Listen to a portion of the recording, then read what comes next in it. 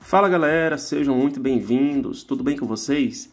Pessoal, nesse vídeo eu vou mostrar como pagar a fatura do cartão de crédito Banco Inter de maneira muito simples e muito fácil, utilizando o seu saldo da conta. Mas antes disso, pessoal, vou pedir para você se inscrever no canal e deixar o seu like, porque isso ajuda muito a gente. Então vamos lá? Faça o login no seu app e chegando aqui na tela inicial, pessoal, a gente vai ter essas opções ali, investir, recarga, shopping, e nós temos ali a opção de mostrar mais. Então você vai selecionar mostrar mais.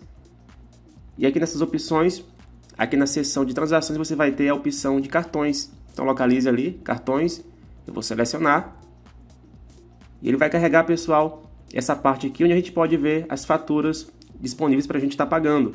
E nós temos ali a opção próximas faturas e bem do lado nós temos a opção mostrar todas. Então você vai selecionar a opção mostrar todas, ele vai carregar e vai mostrar a fatura atual para a gente estar pagando. Então, pessoal, você vai selecionar a fatura atual. Se você quiser selecionar a antiga para você ver algumas informações, você pode fazer isso também. Então, beleza, vou selecionar aqui fatura fechada. E ali embaixo nós temos a opção pagar ou parcelar. Então, você vai selecionar aquela opção. Vou fazer isso agora.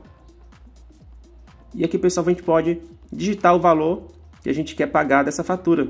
Porém, eu vou deixar da forma que está. Eu vou pagar o valor total dela. E ali embaixo nós temos a opção pagar ali o valor que ela está pedindo, né, que é o valor da fatura.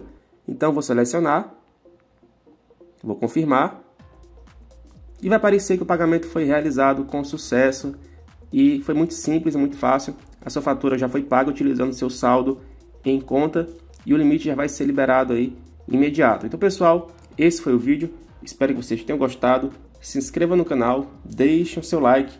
Um grande abraço e até a próxima. Valeu!